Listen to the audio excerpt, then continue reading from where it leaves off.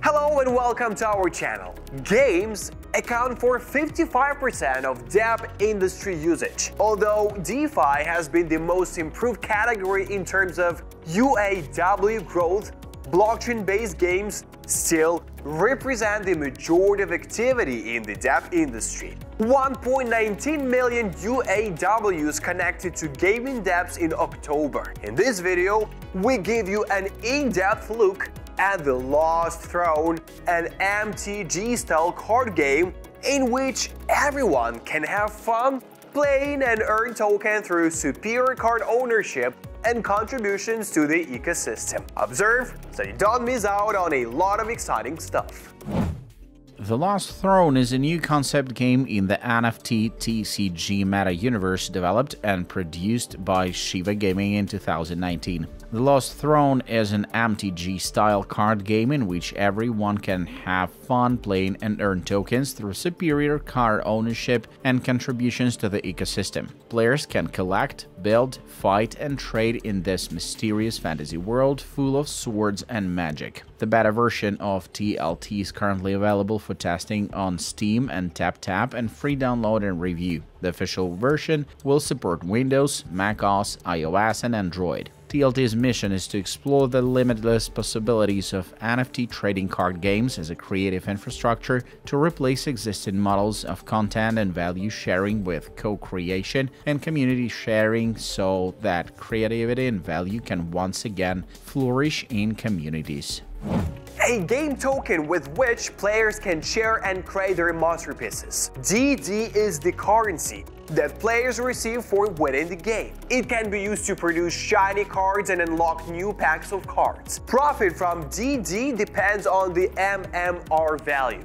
After participating in ranked matches and watch shining cards produce and is the primary game.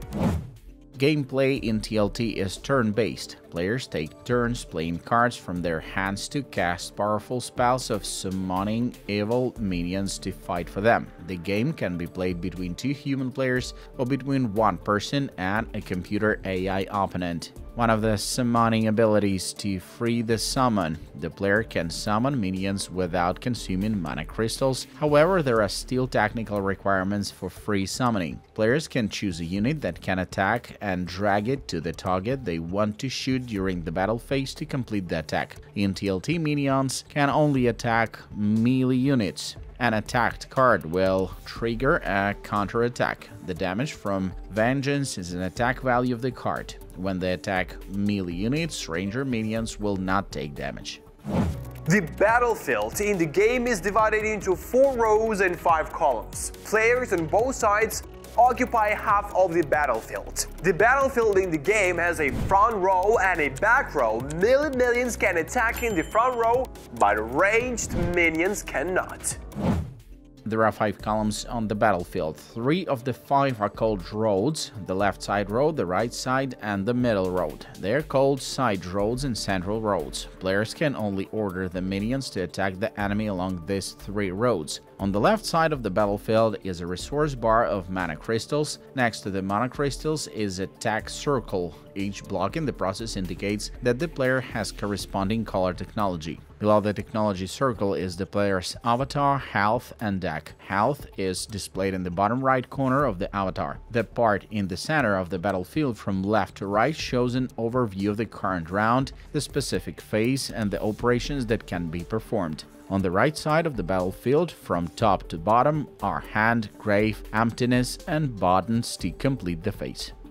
The top left corner of the map shows the technology requirements and mana cost. The number in the circle is the cost to spend when summoned. The color blocks surrounding the process indicate the technology requirements. To the right of the mana, the ring is the card's name.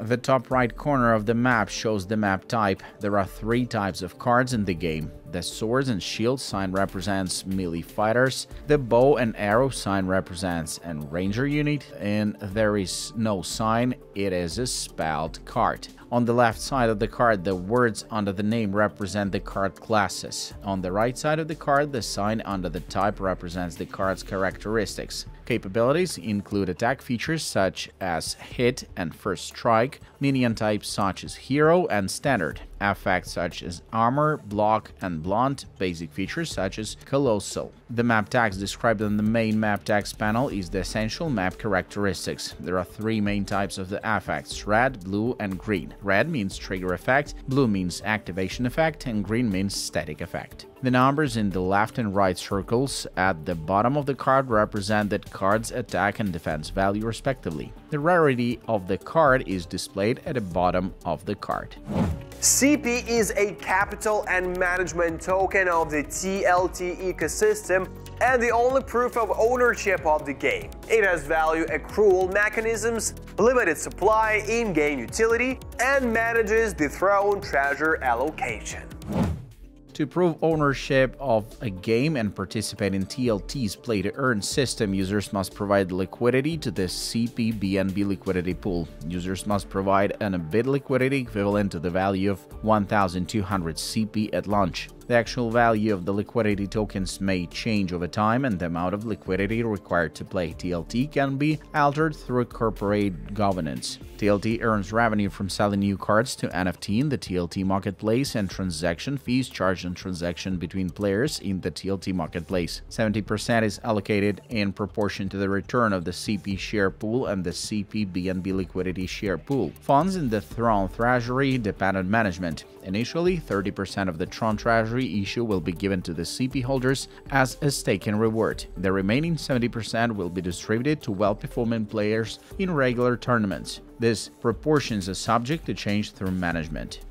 TLT is offering the airdrop community an additional $60,000 CP. You need to complete a few social tasks and you can get from 6 to $30 CP tokens. 1,000 lucky people will get 50 CP each, and the top 50 referrals will win an additional 200 CP.